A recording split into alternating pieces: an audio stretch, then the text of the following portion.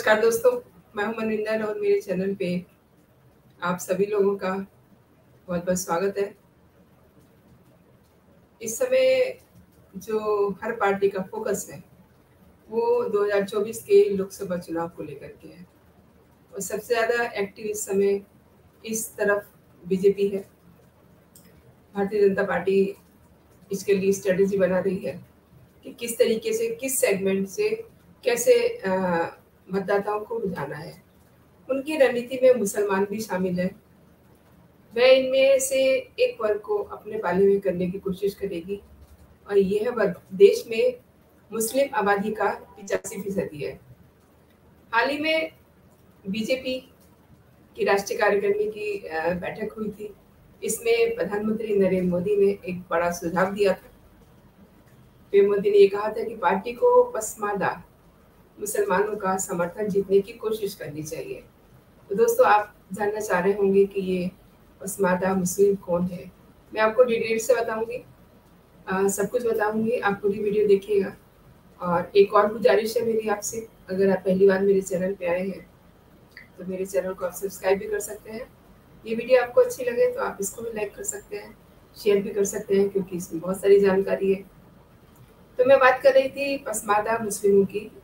जिसे, जिस सेगमेंट को पीएम मोदी फोकस कर रहे हैं। इसके लिए स्नेह यात्रा निकालने का प्लान बनाया गया है। इसे बीजेपी की राजनीति में एक बड़े बदलाव के तौर पे देखा जा रहा है। कारण है, उसका फोकस हिंदू और हिंदुत्व पर ही रहा है। सवाल यह है कि पसमादा मुसलमान है कौन? और समुदाय में उनका दर्जा क्या है? संख्या के लिहाज से राजनीतिक रूप से ये कितने अहम है? ये बहुत सारे सवाल हैं जो आपके दिमाग में आ रहे होंगे जब मैंने पसमादा मुस्लिम समाज की बात की। तो दोस्तों, देश में मुस्लिमों के भीतर भी कई वर्ग हैं। सामाजिक रूप से इनकी तीन कैटेगरी हैं, अशराफ, अजलाफ और अरजाल अशराफ में सैयद, शेख, पठान व अन्य शामिल हैं। ये मुसलमानों का सबसे दबदबे वाला गुट गुट है। यानी कि इसका काफ़ी ज़्यादा दबदबा है, रसूख है। इनके संबंध विदेश से भी होते हैं। सैयदों का रिश्ता पैगंबर मोहम्मद के परिवार से माना जाता है। ये कह सकते हैं कि ये उनके वंशज हैं। अशराफ में ही शेख जादे भी आते हैं, जो अरब के कुरेश कबीले से जुड़े हुए हैं। वहीं पठानों का ताल्लुक अफ़गानिस्तान से है। अशराफ शरीफ का बहुवचन है, आप समझ लीजिए। और यह मुसलमानों में सबसे ज़्यादा एलिट वर्ग है। अजलाफ, जिल्फ का बहुवचन है। इसमें मुख्य रूप से कारीगर आते हैं, दर्जी आते हैं, धोबी, बड़ई, लोहार नाई कुम्हार वगैरह सब इस समाज से आते हैं। अरजाल मुसलमानों में सबसे ज़्यादा निचले पायदान पर है। ये रजील का बहुवचन है, यानी कि बहुत ज़्यादा लोअर लेवल के। इसमें मेहतर और नट आते हैं। और इनमें वो दलित हैं जिन्होंने इस्लाम कबूल किया। यानी कि कन्वर्टेड जैसे कि हर धर्म में कुछ लोग ऐसे होते हैं जिन्होंने हिंदू धर्म को अपना लिया जैन धर्म को अपना लिया इस, इस तरीके से। अजलाफ और अरजाल मिलकर के पसमादा गुट बनाते हैं। पसमादा का फारसी में अर्थ होता है वो लोग जो पीछे रह गए। यानी कि मतलब हर लिहाज से तरक्की से पढ़ाई लिखाई में मतलब वो पीछे रह गए। और भारत में ज़्यादातर मुस्लिम मुसलमानों में एक खास स्थिति रही है। इन्होंने इस्लाम तो अपना लिया, लेकिन इनका पेशा नहीं बदला। यानी कि धर्मांतरण के साथ सामाजिक और आर्थिक स्थिति में कामोवेश कोई बदलाव नहीं हुआ।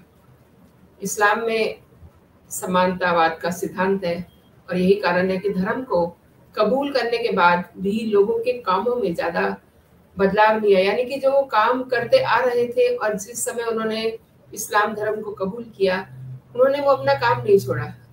इसको आप इस तरीके से भी कह सकते हैं कि वो अपने पुश्तैनी कामों से जुड़े रहे। मुस्लिमों के भीतर दलितों की स्थिति में तब तक कोई बदलाव नहीं आएगा जब तक उन्हें अनुच्छेद 341 के तहत अनुसूचित जाति का दर्जा नहीं मिलेगा। शुरू में सिर्फ़ हिंदुओं का ये दर्जा मिलता था।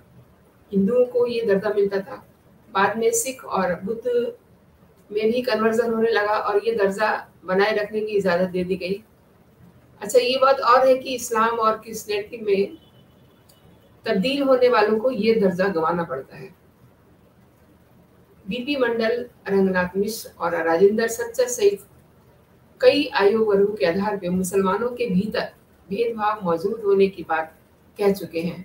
और महाराष्ट्र सरकार ने उन्नीस सड़सठ में ओबीसी के तौर मुस्लिम सब क्लास के एक गुट को सबसे पहले मान्यता दी थी 1980 में मंडल कमीशन ने अपनी रिपोर्ट जमा की थी और अगस्त उन्नीस में वीपी सरकार ने वीपी सिंह सरकार ने उसके सुझावों को लागू किया था और इसी के चलते ओबीसी के लिए 27 फ़ीसदी का कोटा था।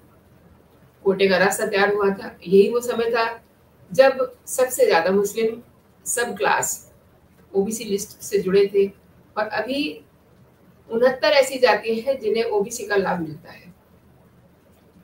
एक समय था जब अशराफ ने अजलाफ और अर्जाल की मौजूदगी को खारिज किया था। अर्जाल ने इसके लिए बादशाहों और मुफलिसी में जीने वालों का हवाला देते हुए कहा था कि ये दोनों नमाज़ में अल्लाह की इबादत में एक साथ खड़े होते हैं। कई बार तो उन्हें भी काफ़ी विरोध का सामना करना पड़ता है। जब उन्होंने ये बताने की कोशिश की कि मुसलमानों में बैकवर्ड क्लास है, हालाँकि धीरे धीरे लोग इसे स्वीकार कर रहे हैं, करने लगे हैं। और मैं आपको बता दूँ कि अभिनेता दिलीप कुमार भी पसमानदा है। कारण है कि उनके पिता फल बेचा करते थे।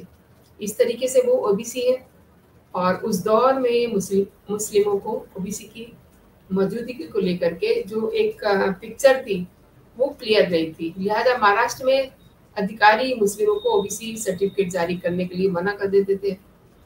सात दिसंबर उन्नीस सौ चौरानवे में महाराष्ट्र के तत्कालीन मुख्यमंत्री शरद पवार ने एक रेजुलेशन जारी किया था। इसमें कहा गया था कि मुस्लिम ओबीसी को हिंदू ओबीसी के बराबर का दर्जा मिलेगा और इसने कई मुस्लिमों के लिए रिजर्वेशन के रास्ते खोल दिए थे।